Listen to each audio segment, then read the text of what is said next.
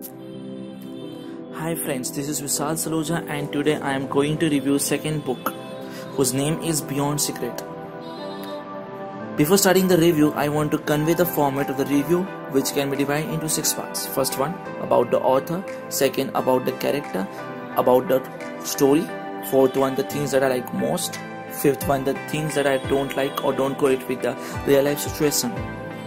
Sixth, how any story that I want to give to it. So let's start the review of the book named it Beyond Secrets. First one is about the author. Her debut novel 45 Days in a Cancer Hospital was longlisted for the prestigious Crossword Books Award 2013. Her poem have been published in many magazines. She holds a MBA degree in HR and worked with the leading MNCs before turning to be a full writer.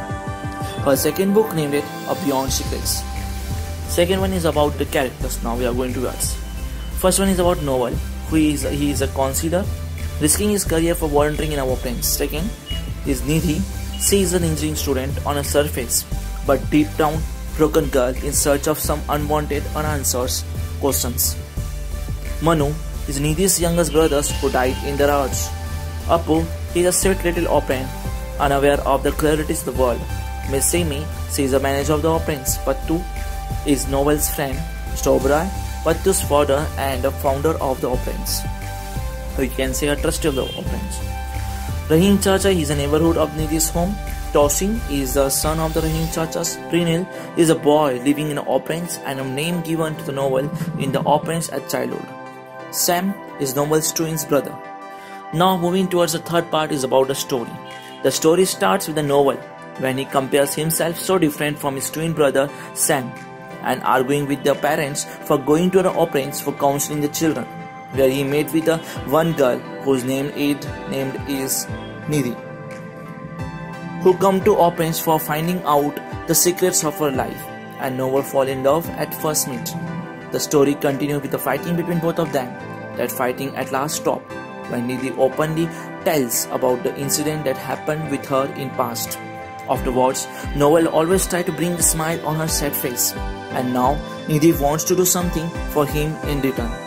So she planned to remove the scarf from his head by operating it through doctor, and finally he did it. The Noel surprises her mother by makeover in such a way like a Sam, but the mother of Noel can't recognize him and openly shares the secret of his life with him. Finally, a heartbroken Noel leaves everyone else behind and moved to the different city where he was alone and with no monies in his hand. But after reading every page of Sam's diary, he come to know about the Sam's life and he tried to pull himself with this bad situation of his life. After some times he saw an Apu who was adopted. He was begging in the train and now he decided to escape the Apu from the bad peoples and then often escaping.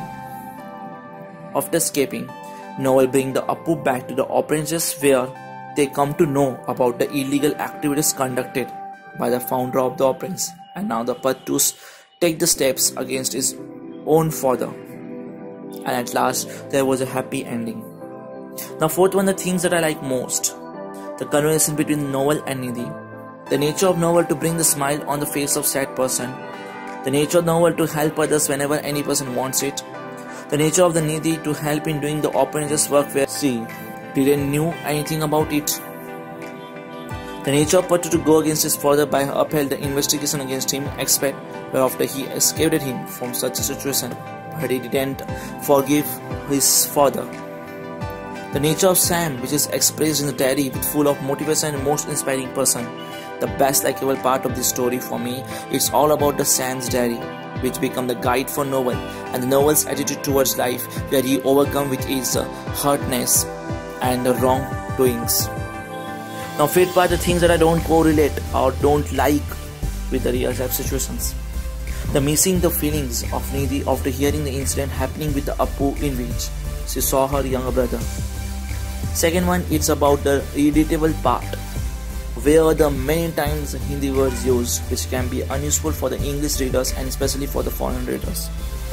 As I said, it is a fictional book, so somewhere you will find imaginary situation where you can't correlate or can't able to correlate with the real life situations at last how many stars that I want to give it.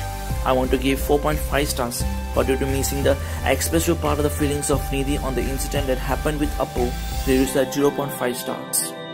As the Nidhi is totally attached with the Appus, as she was seeing his brother Manu in that Appu.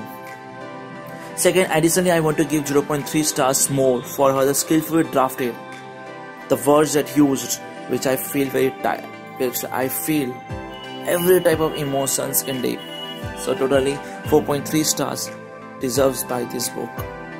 So here is all about the my views which I didn't compare with any book as I already said it as every book story is a unique one.